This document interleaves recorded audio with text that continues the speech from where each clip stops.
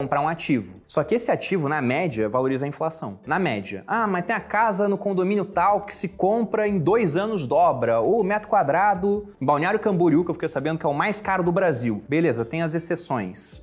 Na média é inflação. Então, pro cara que não tem dinheiro, ele se endivida 9 para pegar um imóvel que cresce a 6. Aí não vale tanto a pena. Perfeito. Entendeu? Então vamos lá. E, e você tem 100% do seu capital. Desse 100%, o, qual que é a sua maior fatia aqui? É o Bitcoin hoje. É o Se Bitcoin? For pensar em, em termos isolados, é o Bitcoin. Caraca, quantos por cento você tem em Bitcoin? Eu tenho como alvo 20% de exposição no meu portfólio. Então, bem diversificado, porque sua maior posição é, é 20%. Sim. Entendi. Ah, Na verdade, bem concentrado, você- né? é, é que na verdade você está falando como principal ativo, não como classe de ativo, né? É, porque criptomoedas é uma classe, mas você tem o Bitcoin e outras 20 mil. As outras 20 mil, a maioria sem pé nem Ah, cabeça. Hoje né? você tem, eh, basicamente, desses até 20% que você tem, eles estão tudo em Bitcoin?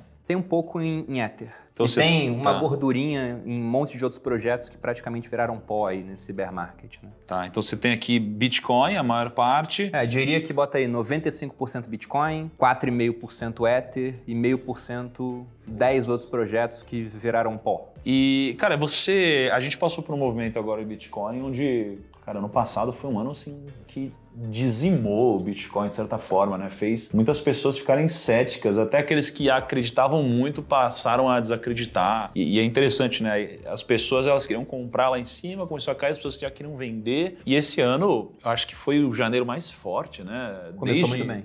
não sei quando, tá subindo pra caramba. Como que você vê, assim, você, você acredita bastante nessa posição? Você espera continuar com muito Bitcoin ou reduzir? O que, que você pensa? Eu vou reduzir depois de um próximo bull market, porque se a gente volta naquele vídeo de 2018, a posição que eu tinha em Bitcoin era menos de 5% do meu portfólio. Devia ser, sei lá, uns 2, 3% naquela época, se chegasse até isso. E aí essa posição depois aumentou para 5 e eu aumentei ela de 5 para 20 durante a época da pandemia, porque você teve um alinhamento de astros acontecendo. Ao mesmo tempo, a gente teve a chegada do halving, que é a queda pela metade na recompensa dos mineradores. É um evento importante para o Bitcoin, mais importante no passado do que hoje em dia, porque hoje já tem 19 milhões de bitcoins minerados, então o impacto é, é menor. Mas aquilo aconteceu no ano de 2020. Além disso, você teve muita injeção monetária por parte dos bancos centrais ao redor do mundo inteiro por causa da pandemia. né? Injetaram muito dinheiro. Isso tende a levar preços de ativos e, na verdade, de tudo para cima, como aconteceu na ressaca pós-pandemia. Por conta desse alinhamento, né, halving mais pandemia e uma queda muito brusca de preços, porque enquanto a gente estava no carnaval e não estava caindo preço, que era feriado, o Bitcoin não para. Ele estava caindo acompanhando o desenrolar dos acontecimentos, né? E o vírus se espalhando pelo mundo. E ele caiu muito, ele caiu 50% em um único dia. E nessa hora que apareceram os testes. Eu lembro que nessa hora tinha influencer de finanças, que eu não vou divulgar o nome aqui, mas fazendo stories apontando a queda do Bitcoin e me marcando sem que eu aparecesse, sabe? Sério? É, tipo falando, né? Cadê o seu Deus agora? E aí, nessa hora, eu comecei a comprar entre meio e um Bitcoin por dia e fiz isso durante 21 dias. Até virar hábito. Cara. Não era até virar hábito, porque a gente sabe que esse negócio de 21 dias para hábito não vale tanto assim. Mas o ponto é que lá eu aumentei de 5, que tinha reduzido para 2,5, para 20. E aí, depois o negócio começou a subir, desandou a subir, porque ele subiu 400%. Aí eu fui reduzindo ao, longo do tempo. E mantive mais ou menos uma alocação de 20. Só que eu não reduzi essa alocação de 20 para baixo, que era pra eu ter feito, né?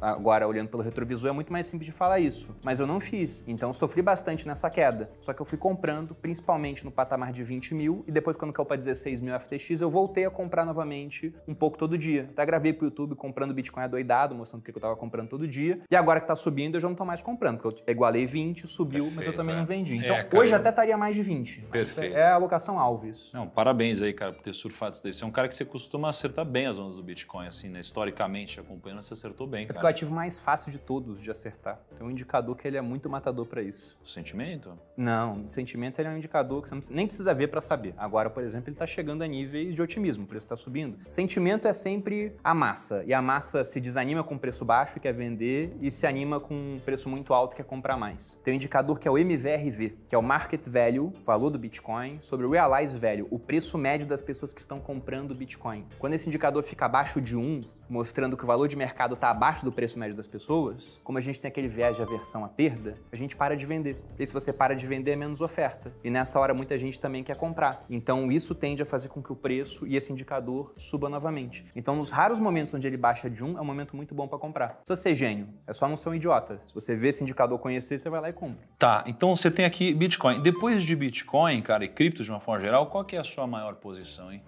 Em termos de ativos isolados de assim, classe, de classe, classe. É, classe de ativo. Então seria renda fixa nacional. Tá. Renda fixa nacional, que seria ah, aqui na parte nacional, ARC, seria o C, É, né, seria o assim. caixa. Seria o caixa. Quanto que você tem mais ou menos percentual? Então, é porque olha assim hoje, né? O meu dinheiro no país, uma equação simples, o meu dinheiro no país tem que ser igual a Bitcoin mais dinheiro no exterior. Eu tenho um combinado comigo mesmo, que são aqueles que eu respeito mais, né? Quando eu boto alguma coisa como meta, de que eu quero ter pelo menos 50% do meu patrimônio investido no mercado financeiro fora do Brasil. Até por conta da decisão de virar seu sócio. O nosso negócio, ele tá totalmente atrelado ao Brasil. Se o Brasil começa a ir mal, a gente vende menos. Então já corro muito risco o Brasil por conta do grupo primo. Sim. Eu pensei, eu quero correr menos risco. Então eu quero 50% do dinheiro fora do país ou o país fora desse dinheiro, que é o caso do Bitcoin. Assim, Você tem, na verdade, assim, 50% mais Bitcoin.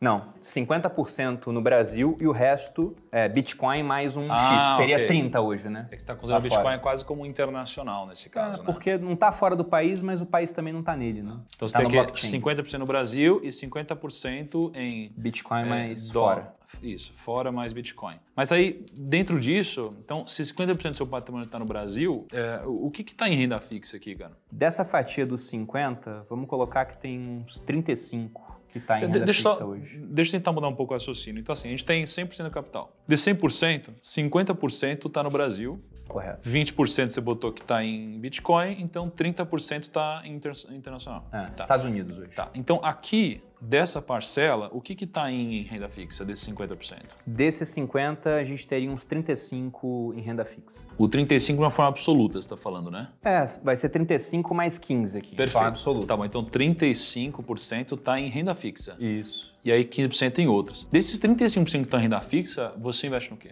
Boa parte disso tá até em CDB de liquidez diária hoje, porque desse dinheiro aqui, até 20% do meu capital total eu separo para um negócio de leilões de imóvel que a minha irmã tem. Então ela fala, Bruna, apareceu um imóvel muito bom em São Paulo e geralmente com preço muito descontado. O imóvel vale um milhão, porque qualquer metro quadrado aqui em São Paulo vale um É, milhão. bizarro. né? E você pode arrematar num, num leilão por 500. Esse dinheiro eu tenho que pagar no dia seguinte. Então ele tem que estar em alguma coisa muito líquida e muito segura a ponto de eu poder falar, não, vou tirar esse dinheiro, não pode estar em ações americanas. Eu quero arrematar É. o imóvel, eu simplesmente despecou 90%. Tá, então desses 35, 20% você geralmente deixa para leilão. Exato. Até 20. E até 20. Nunca usei tudo. E os outros 15%, a- ambos estão em CDB com liquidez diária ou não? Os 20 estão, os outros 15 aí ficam separados em várias posições de renda fixa. O que, que seriam as principais? Ah, tô na dúvida do que fazer com o dinheiro. Eu boto numa LCI que eu posso resgatar daqui a 90 dias, a partir de 90 dias, né? Por que, que Tô você. sem tempo para olhar, por exemplo, eu boto lá.